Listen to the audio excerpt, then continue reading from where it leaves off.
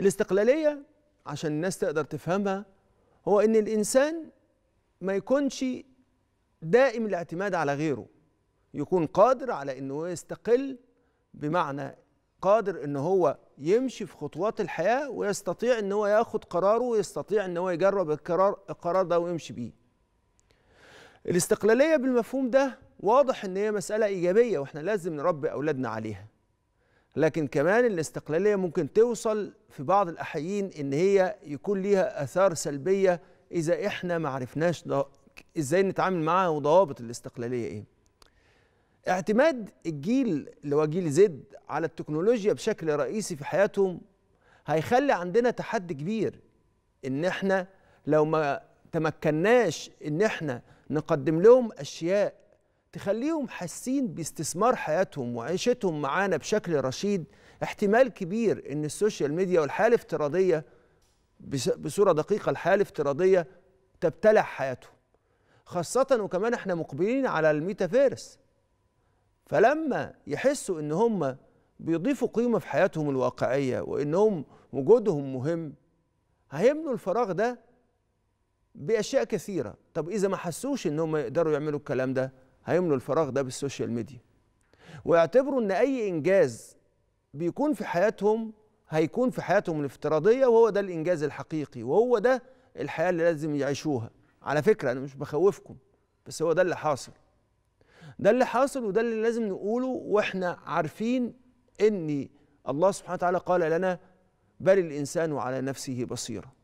يبقى إحنا لازم بشكل واضح نبقى مركزين في ده لأن بعض المربين خصوصا الأمهات كلمة الاستقلالية دي اللي هي كلمة مركزية في حياتنا دلوقتي بتخليهم دلوقتي يقلقوا بيحسوا إن الاستقلال ده معناه إن ابنهم هيكون بعيد عنهم أو إن وجودهم مش هيكون له أهمية في حياة أولادهم مع إن حاجة أولادهم للاستقلال من أكثر الحاجات اللي لو استثمرناها صح وربيناهم عليها صح بتساعدهم في تمتين علاقتهم بأولادهم. وبتساعد وبتساعدنا كمان إن أولادنا ينموا بشكل صحيح وإن شخصياتهم تكون شخصيات متزنة وفعالة. تعالوا نتذكر كده كلام بعض الناس بيوردوه بس في مسألة إن رسول الله صلى الله عليه وسلم كان متغاضيا. لكن رسول الله هنا كمان كان بيعلمنا حاجة مهمة في حياتنا دي. سيدنا أنس بيقول خدمت رسول الله صلى الله عليه وآله وسلم عشر سنين. على فكرة سيدنا أنس كان حر فخدم يعني عاش مع رسول الله صلى الله عليه وسلم عشر سنين.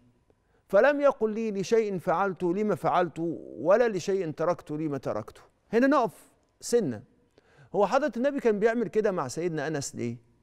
عشان يعلمه التجربة ويعلمه كمان إن هو يقدر يتخذ القرار وإنه من حقه إن هو يعيش حياته وهو مستقل. وعشان كده لازم إن في عالم الزراعة حتى ده يبين لنا الفلسفة اللي إحنا بناخدها حتى من عالم الزراعة. إن في زراعة النخيل لازم نفصل ما بين يفصل الفلاح ما بين الفسيلة ويبعد بيها بعد عن النخلة الأم. لأن لو قرب منها الفسيلة دي مش هتنمو بشكل صحيح. حتى قالوا إن هو لابد إن هي تبتعد عنها في حدود 9 متر ولا حاجة.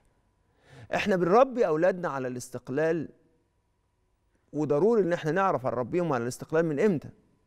إحنا بنربي أولادنا على الاستقلال لأنه احتياج إنساني وبيبدأ بدري يعني ما تأخرش. بيبدأ تربيتهم على الاستقلال ده بدري وبيظهر بوضوح شعورهم بالاستقلال. تخيلوا من بداية كام؟ من بداية سنة وست أشهر. عشان كده ساعات الأمهات لما تيجي تشوف الابن وتبص ليه وهو بيلعب وبيتعامل معاها ويزق إيديها ولا يعمل أي حركة فيها كده نوع من أنواع الاستقلال تقول الأم إيه؟ تطلع دماغه ناشفة لمين؟ هو مش دماغه ناشفة هو بيعبر على إن هو محتاج إن هو يستقل محتاج إن انت ما, تحاوليش تقومي بالفعل بديل بديل عنه هو محتاج ياخد مكانته عشان يفعل الفعل بشكل بشكل يحسسه بوجوده. ودي حقيقة في الحقيقة بتختبر إرادته. بتختبر إرادته إن هو قادر إن هو يعمل الحاجات بإرادته. فعشان كده كتير من المدارس التربوية بتنصح الأمهات بإنها تدعم حاجة الطفل ده للاستقلالية. من خلال إن هي تقدم له اختبارات محددة. لما تيجي تسأليه وتقول له هتاكل إيه ما تقوليش هتاكل إيه. لكن قولوا له هتاكل كذا ولا كذا. عشان هو لما يختار يحس بإن اختياره دوت عمل له نتيجة في حياته ويحس بإنه إنسان مستقل ومن حقه يختار اللي يناسبه.